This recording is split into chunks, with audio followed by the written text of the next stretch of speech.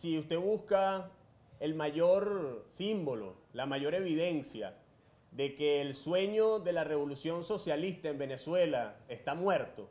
si usted busca una mayor evidencia de que el gobierno venezolano ha traicionado los valores de igualdad, de justicia, de inclusión y de progreso, puede encontrar en las escuelas venezolanas, en el estado del gremio educativo, la mayor evidencia de esa traición con una, un sistema educativo colapsado. Respaldamos la convocatoria que han hecho trabajadores del área educativa para este miércoles 19 de septiembre, donde se llama hacer un pancartazo en todos los planteles educativos a nivel nacional desde las 10 de la mañana. Esto no es una lucha nada más de quienes están en la escuela o del que tiene un hijo, porque la verdad es que mientras destruyen la educación, afectan el presente, pero sin duda nos ponen cada día más un futuro más oscuro.